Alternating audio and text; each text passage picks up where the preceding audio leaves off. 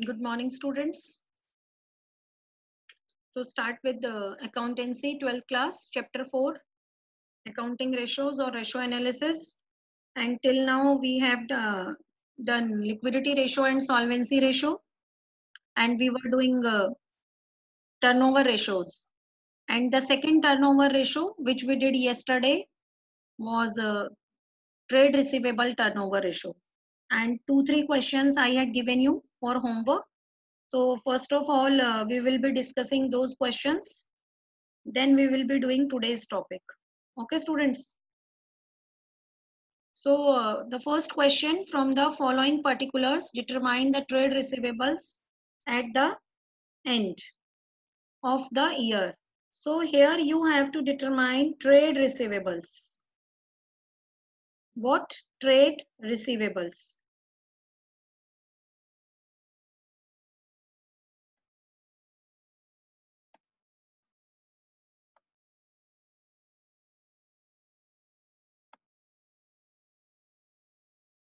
Okay, students, trade receivables at the end of the year. Credit RFO was already given 17 lakh 52,000.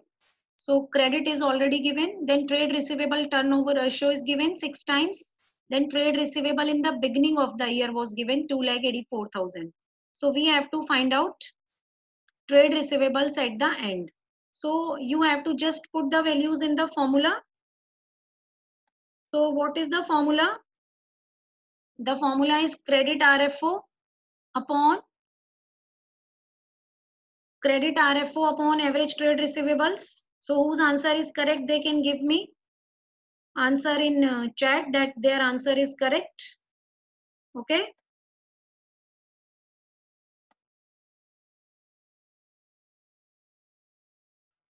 So 17 lakh 52,000 upon 6 which is equal to 2 lakh 92,000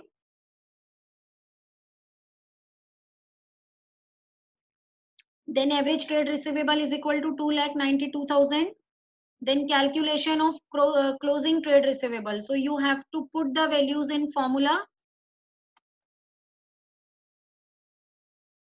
Then you will be getting uh, the answer for closing trade receivable. Okay. All of you have done correct. Uh, next question. This was the next question. Credit revenue from operations credit revenue from operations of X Limited. During the year, 3 lakh. First variable of the ratio is already given, that is 3 lakh. If trade receivables turnover ratio is 5 times, then calculate trade receivables in the beginning and at the end. And at the end. Both uh, trade receivables you have to calculate in the beginning and at the end of the year. And one information is given that is closing trade receivables are two times in comparison to opening trade receivables. Closing trade receivables are two times in the comparison of opening trade receivables Okay, so again, we have to put the value in the formula and mathematically you have to solve whatever is not given. By making equation, you can easily find out. So the answer is 40,000 and 80,000. Why Varun Bhadia, you are writing answer to everyone? Next question was, I think, tell me the question number, which question I had given you, I think question number 76. And this question, as you can see, uh, in 2019 exams has come. Okay. So here trade receivable turnover ratio four times. Trade receivable turnover ratio four times. Cost of RFO 6 lakh 40,000. GP ratio 25 20 percent. So one thing I want to tell you here that whenever GP ratio is given, so, and nothing is mentioned in the question that it is on cost or it is on sales. Only GP ratio is given. GP ratio is given and it is not mentioned that it is on cost or it is on sale, then we will assume that GP ratio is on sales. Okay, students. GP ratio is on sales. So this is the answer. Closing trade receivables were 20,000 more than in the beginning. So average trade receivables we have to find out. Then the cash revenue from operations being 33 1 by 3. Whenever fraction in this manner is given in the question, it means one third. If you don't want to solve this fraction, then 33 1 by 3 means one third. Like if 25% is given, then it means one fourth. So similarly, 33 1 by 3 means one third of credit RFO. so now this is the solution. Tell me, is it correct or not? Yes, students, tell me, is it correct or not?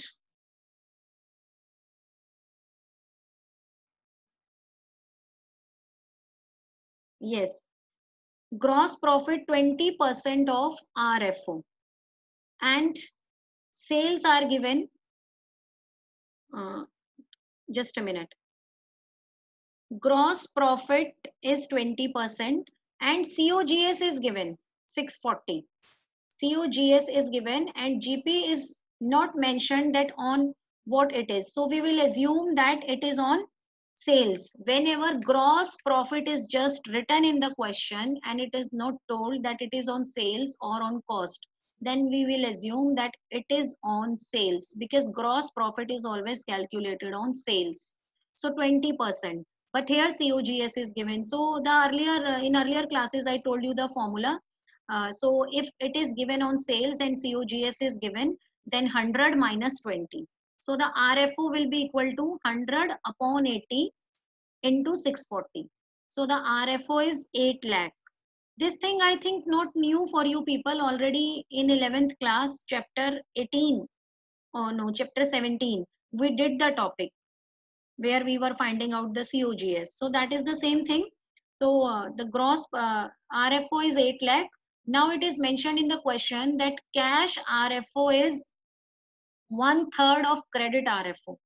So we'll be making uh, an equation that cash RFO is one third of credit RFO. So we can take credit RFO is equal to X and cash RFO is one third. So cash RFO will be X by 3 and total RFO which we have already calculated 8 lakh. So we will be making an equation that X plus x by 3 is equal to 8 lakh.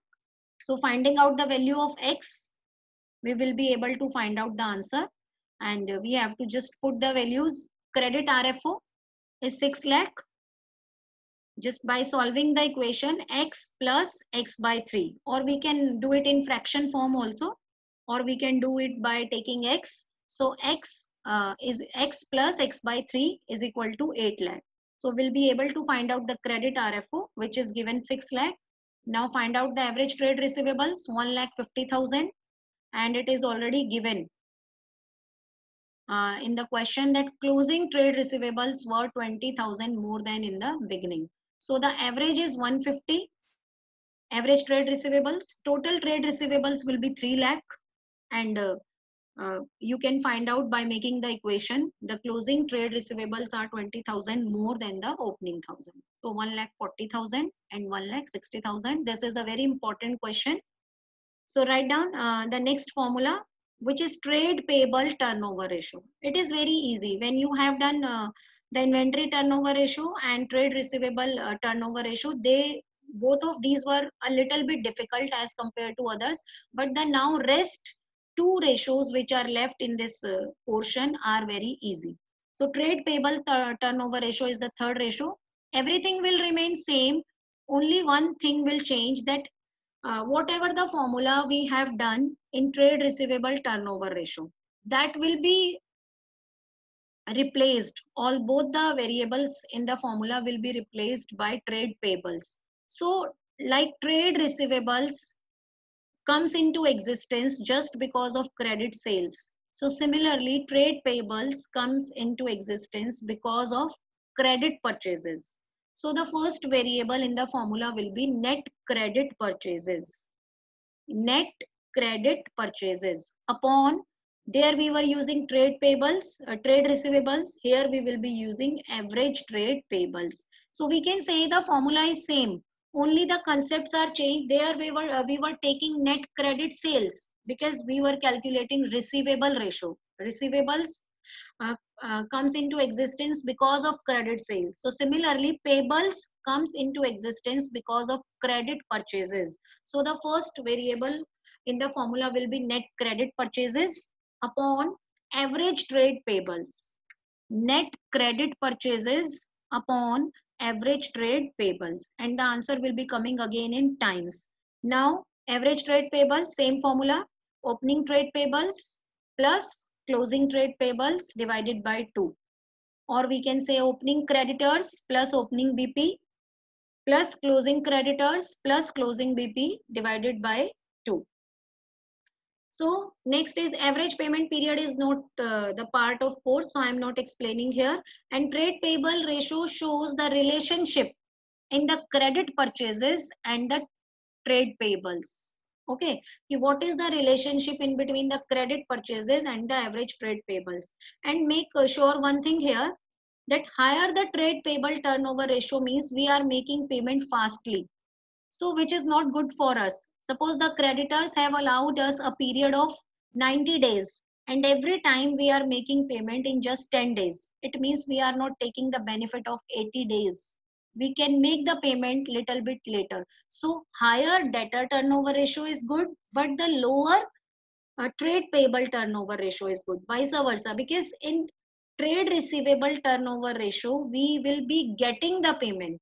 And in trade payables turnover ratio we will be making the payment. So getting the payment fast is important and making payment late is important because we will be able to use that money for a longer period if we are not returning it back to the creditors. So the lower ratio is better not the higher ratio is better. So high ratio also indicates that the enterprise is not availing full credit period which i have explained you like the full credit period credit granted by our supplier is 90 days but we are making payment after two days. It means we are not taking the benefit of the remaining 70 days. So if higher ratio is there it means the enterprise is not availing fully credit period. But if our ratio is very much high then definitely we will be having a good credit worthiness in the market. Credit worthiness means our uh, the suppliers or the uh, creditors will be ready to grant us credit to provide goods on credit because they know that very fastly we will be making the payment. So it will be related to the credit worthiness of the enterprise. Okay students. So now do the question. I have displayed one question. You have to just put the values in the formula. Write down. I am also uh, speaking of the question. That is the total purchases. Total purchases. Write down. 8 lakh 50000 cash purchases 1 lakh. Purchase return 50000 creditors at the end of the year 1 lakh 60000 creditors in the beginning 1 lakh 20000 so remember the formula? The formula is net credit purchases net credit purchases Formula is net credit purchases upon average trade payables. Net credit purchases net credit purchases upon average trade payables. Write your answers. I am waiting for the answers.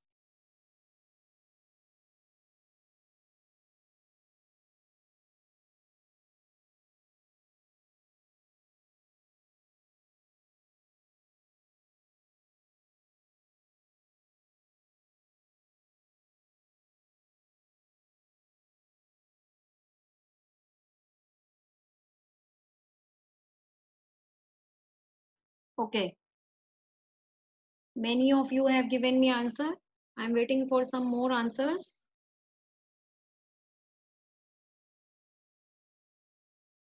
Okay. Yes, many students has given me answer.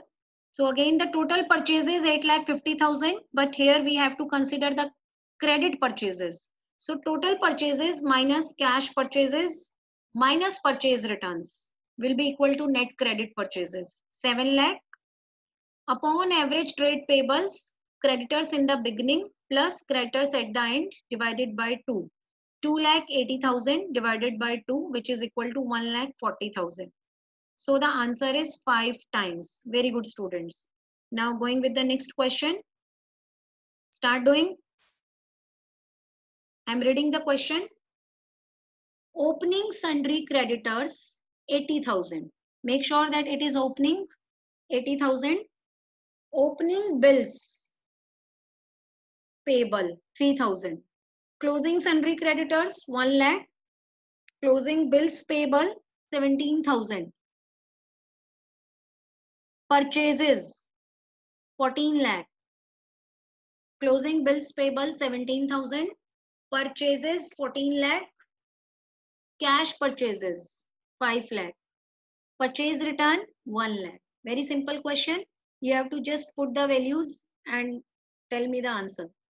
Opening creditor plus opening BP plus closing creditor plus closing BP divided by 2 will be the average trade payables. Then purchases 14 lakh minus cash purchases 5 lakh minus purchase return 1 lakh. 14 lakh minus 6 lakh. 8 lakh will be the credit purchases, net credit purchases. And the average trade payables, yes, very good. Everyone has given me correct answer. Very good students, 8 times.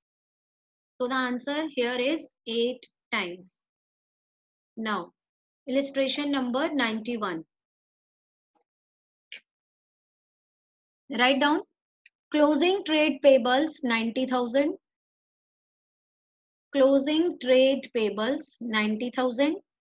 Net purchases 7 lakh 20,000. Cash purchases 1 lakh 80,000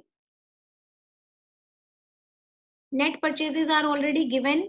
So but you need uh, net credit purchases. So what you will do?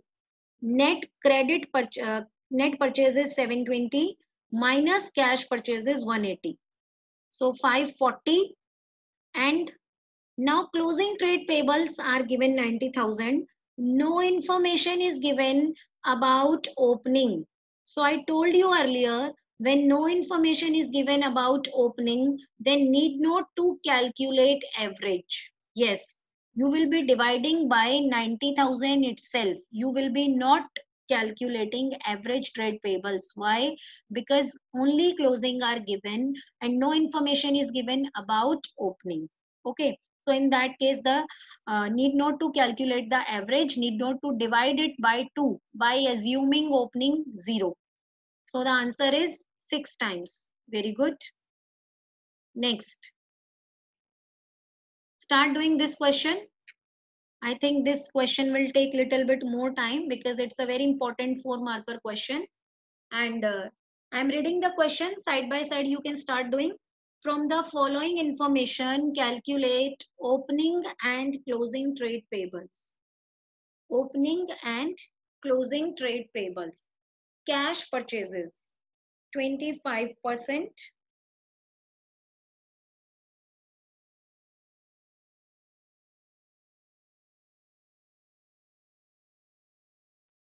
Cash purchases 25% of total purchases.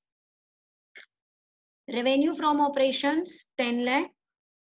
Gross profit 25% of RFO. So it's very much easy to find out RFO uh, gross profit 10 lakh 25% of gross profit. So 10 lakh 25% 2 lakh 50000 then opening inventory 2 lakh 50000 closing inventory 5 lakh. Inventories are also given. Trade payable turnover ratio 3 times closing trade payables 2 lakh 50000 in excess of opening trade payables. So here you have to find out opening and closing trade payables. Make sure some information can be there which is of no use. Okay. So cost of RFO, first step, we will be finding out. Cost of RFO, I told you earlier too, that it's 7 lakh 50,000. One thing you can see in this question, this question is very tricky and important question. In this question, no information is given about total purchases. So how we can find out the total purchases? Do you remember the formula of COGS? You have to put the values in the formula of COGS and you can find out the total purchase. What was the second formula of COGS? Second formula of COGS. First formula we have already applied 750. Second formula was opening stock plus net purchases plus direct expense minus closing stock. Direct expenses are not given in the question, so we will assume it zero. Direct expense, we will assume it as zero. But opening and closing, both stocks are given. So put the values 750 is equal to COGS is 750. So 750 is equal to opening stock 250. Assume purchases as X plus X minus closing stock 5 lakh. So the total purchases, find out the value of X in the given equation. So total purchases are equal to 10 lakh. Okay. Now we need only credit purchases. So what is given in the question? cash this is the third step step by step we have to solve the question and for each step we will be getting the marks okay so cash purchases 25% of the total purchases now total purchases we have got 10 lakh and the cash purchases is 25% of total purchases so 25% of 10 lakh which is equal to 2 lakh 50,000 so credit purchases will be equal to 7 lakh 50,000. Total purchases, yes, 7 lakh 50,000. Many students have sold it. So I'm just checking their answers. And now put the values in the formula. Formula is net credit purchases upon average trade payables. Make sure that if there are any three or four variables. If three variables are given, then two must be given. Third one you can find out by making the equation, by cross multiplying, by uh, changing the sides of the equation. Okay, so similarly, step by step, we are going in the first step, we have found out uh, uh, the cost of RFO. In second step, by putting the formula of cost of RFO, which we have already studied in 11th class 2, we will be able to find out total purchases. Okay, then out of the total purchases by the given equation in the question, cash purchases 25%. We need to find out the cash purchases which is 250. So total purchases minus cash purchases which is equal to 750. This is the, yes, this is the answer.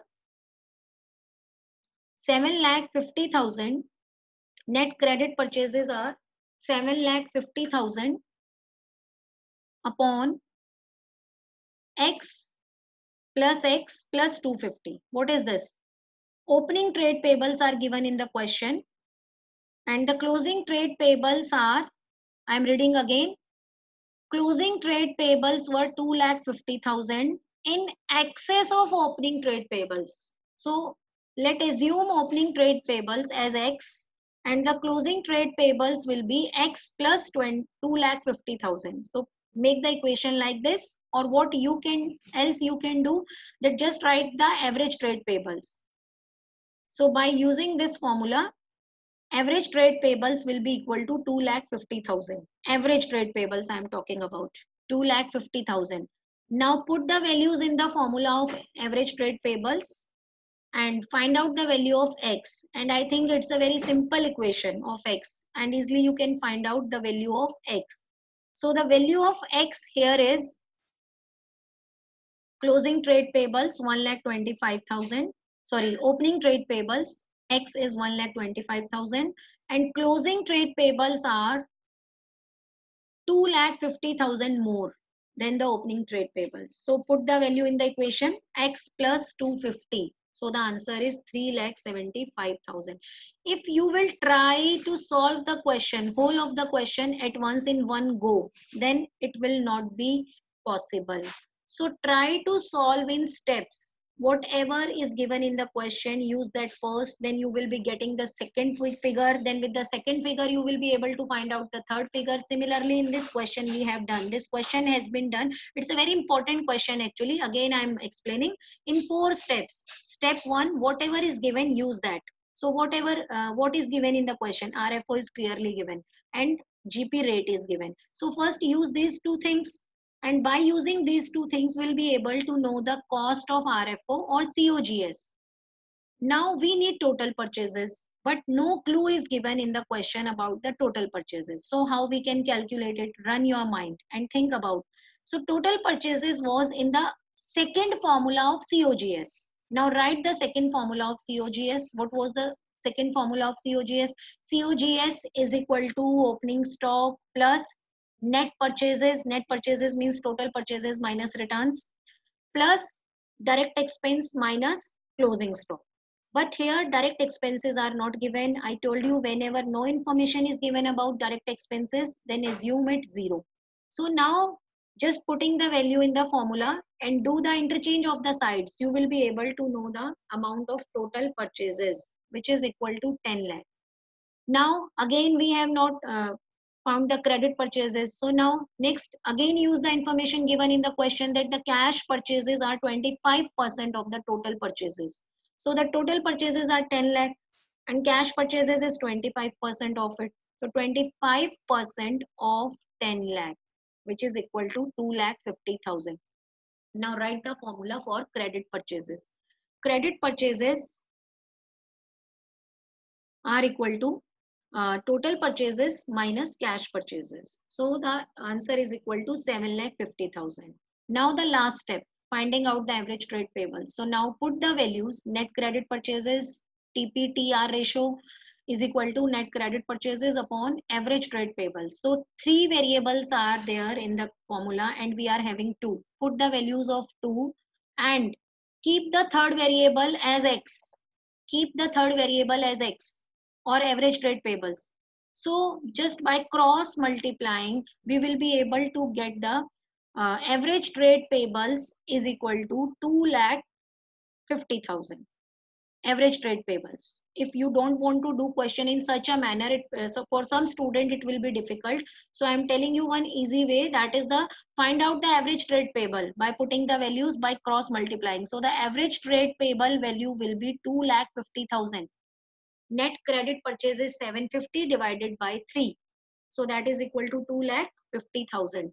Now put the formula of average trade payables which is opening plus closing divided by 2 is equal to 250. Now assume x, x plus 250 and find out the value of x. So last uh, topic of turnover turnover ratio uh, that is the working capital turnover ratio. Write down. Working capital turnover ratio uh, write down the formula that is the RFO upon working capital. RFO, RFO means net sales. Net sales means cash sales plus credit sales minus returns. RFO upon working capital. Revenue from operations upon working capital. Okay. If no information is given in the question about RFO, then we can also use cost of RFO upon working capital. But make sure cost of RFO will be used only when we are not able to find out RFO. If we are able by solving the equations, then we have to use RFO in the formula. Cost of RFO is the second alternate, which can be used only when there is no information about RFO. Okay. And working capital is a very familiar concept for you people because in earlier ratios we did that. Current assets minus current liabilities. And this ratio shows the relationship between the sales revenue and the working capital. Okay, it shows the number of times a unit of rupee invested in working capital higher the ratio is but obvious is the better ratio and the lower the ratio is the not better for the business. The objective of computing the ratio is to ascertain what is the main objective of this ratio. Objective of calculating any ratio can come in exam. So that is uh, whether the working capital has been effectively used in generating revenues or not whether the working capital has been effectively used in generating revenues it means there must not be no excess of inventory no excess of debtors because working capital means all the current assets minus current liabilities. So higher the ratio is better. Higher ratio means efficient use of working capital. Yes anmol? What is your doubt? You are writing me that you have uh, one doubt. So tell me fast because we are short of time. What is your doubt anmol so if you are not hearing me, we can discuss it later on.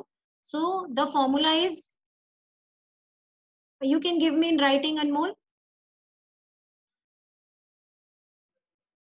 So objective of this ratio is that how the working capital is effectively used or not.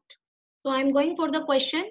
So formula I'm repeating RFO upon working capital or cost of RFO upon working capital. The answer will be again in times. So higher the ratio is better ratio. So in turnover ratios, we did four ratios and every ratio, higher ratio is better ratio, which means the effective utilization of current assets as well as of the inventory of the trade receivable. All of these are current assets. But the only one ratio was there, which was lower better. Which ratio?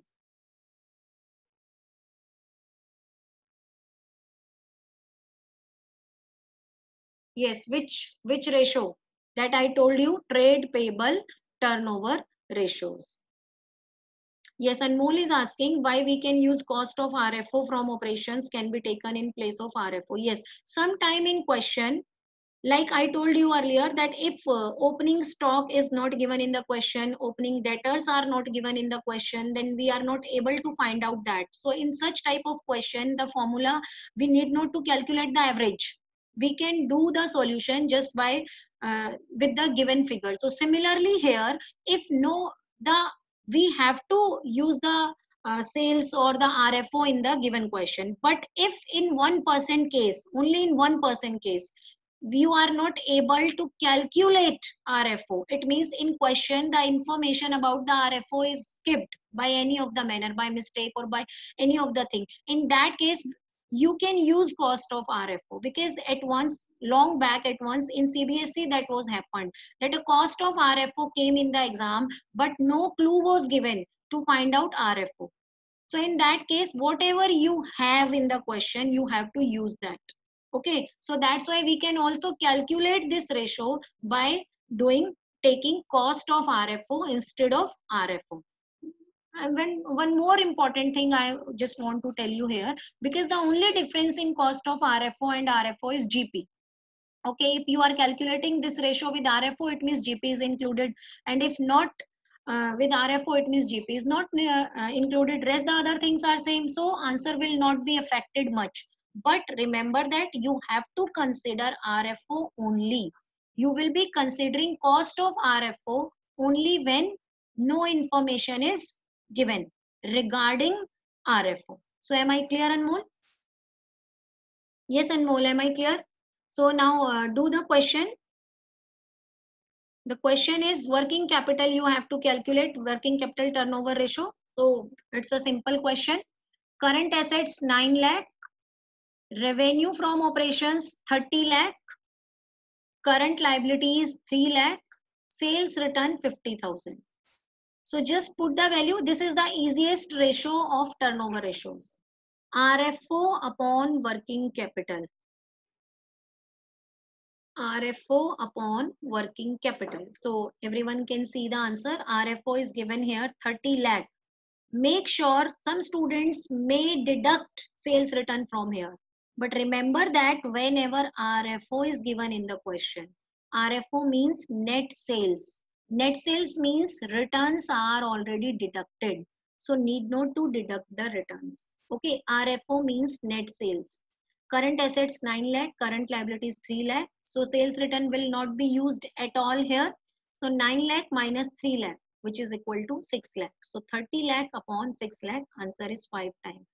Do the next question, which is current assets 12 lakh, current liabilities 2 lakh 40,000, sales, credit sales are given 24 lakh and cash sales are given 520 and sales return are also given. So two variables are there, both you have to calculate. RFO upon working capital. What is the formula for RFO? Cash sales plus credit sales minus returns. Cash sales plus credit sales minus returns. Okay. Cash sales equal to 24 lakh credit sales sorry 24 lakh and cash 5 lakh 20000 so 29 lakh 20000 minus 40000 so 28 lakh 80000 28 lakh 80000 now find out working capital current assets minus current liabilities 12 lakh minus 240 which is equal to 9 lakh 60000 Okay, so the answer will be 2880 upon 960, which is equal to 3 times. One last question, students. Cost of RFO 150, current assets 1 lakh, current liabilities 75. Here in this question, you can see that we are not able to find out RFO because no information is given regarding RFO. So we don't have any option. We cannot find out RFO. So replace RFO with cost of RFO. That's it. So in such type of questions, these type of formula we have to use when no other information is given. Okay, students? So I am ending the class here now. Today we have completed the turnover ratios. So I'll be sending you assignment. Okay. Thank you for being with me.